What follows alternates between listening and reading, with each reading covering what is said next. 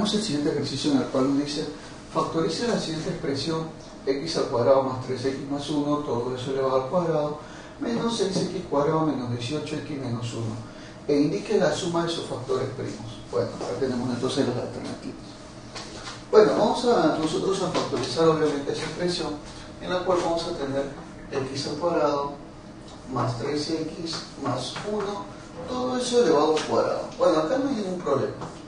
Detalle va a ser acá, ¿no? Cuando tengamos menos 6x cuadrado menos 18x. Y bueno, acá yo le voy a agregar un valor más para que se pueda factorizar con estas tres expresiones. Le voy a poner menos 6, ¿ya? Bueno, de tal manera de que yo pueda agrupar estos tres y factorizar una cantidad numérica constante. Bueno, obviamente que si yo he restado 6, tengo que sumarle 6. soy el sobre. Ya, profe, perfecto. Y luego menos 1, pues. Bueno, sigue por acá, menos 1.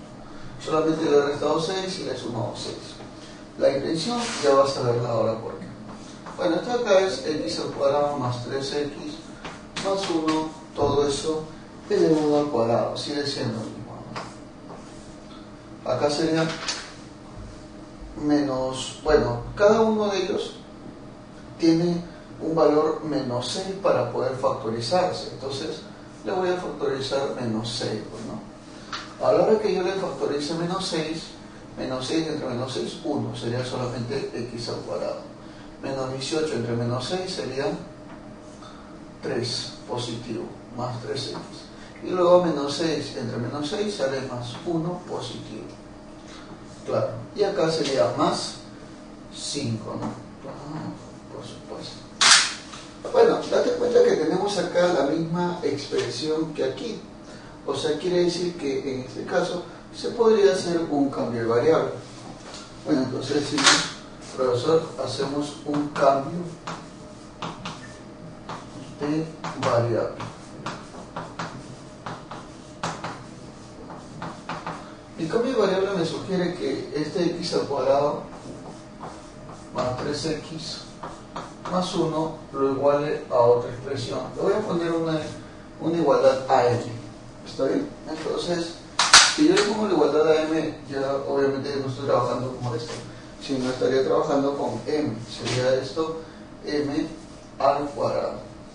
Luego menos 6m, ¿no? Porque es m más 5. Y ahora lo que voy a hacer es factorizarlo por aspa simple. Voy a poner acá, obviamente, m por m es m al cuadrado, y acá 5 por 1 es 5. Bueno, signos, ¿no? Tienen que ser iguales. Menos por menos te da más. Al multiplicar en aspa, obviamente el resultado tiene que salir del medio. Vamos a ver si es así menos 5 por m menos 5m. Menos 1 por m menos 1m. Luego procedo a sumar. Y bueno, me doy con la sorpresa de que me da menos 6m.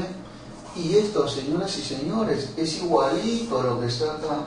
O sea, ¿qué quiere decir? Por eso quiere decir que es correcta. Es correcta esta expresión.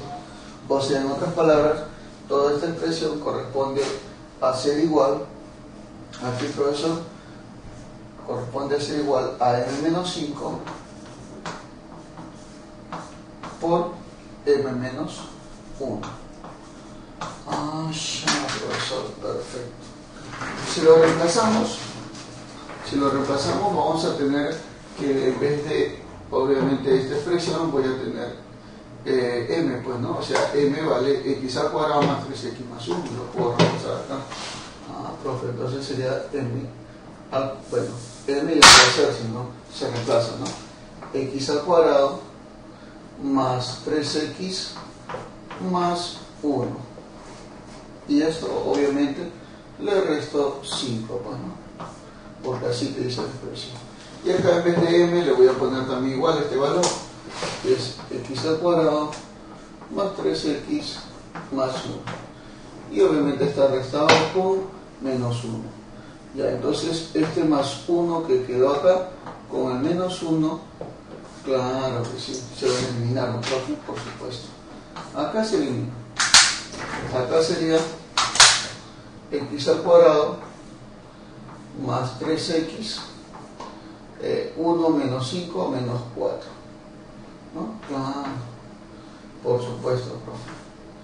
Y esto por, acá solamente es x al cuadrado más 3x. Bueno, déjame decirte que ambos son, eh, siguen siendo este, en este caso factores que se pueden seguir factorizando, o sea, no son factores primos ni uno de los dos.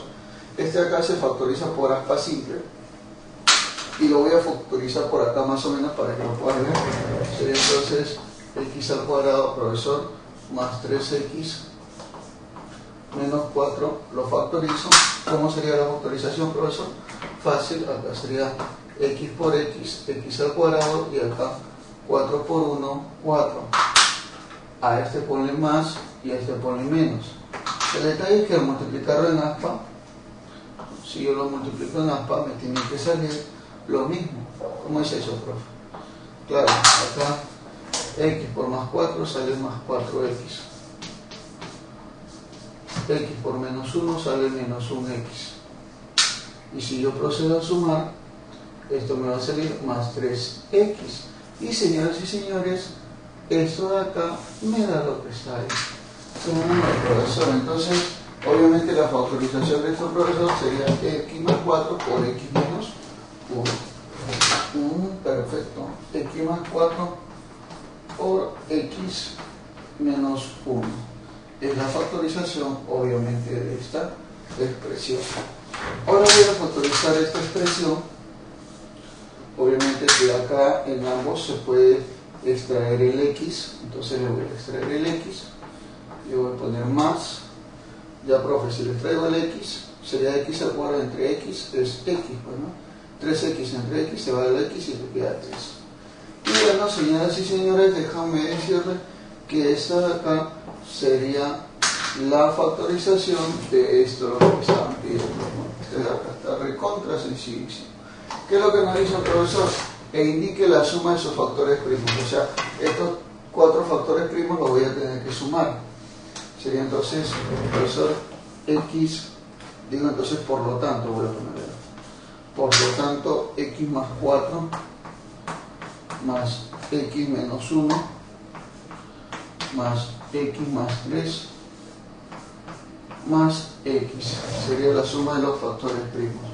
Bueno, acá se agarra, ¿no? x más x más x y más x sería 4x. Luego 4 eh, menos 1, 3. 3 más 3, 6. Más 6. Saca mitad a mitad, saca de sumida a cada uno y sería 2 por 2x más 3. Claro que sí, caballeros, señoritas y señores. Eso acá, déjame decirte, es la respuesta de nuestro problema. Obviamente la clave es la A de animal. Claro que sí. Fácil y sencillo como todas. Y como debe ser siempre.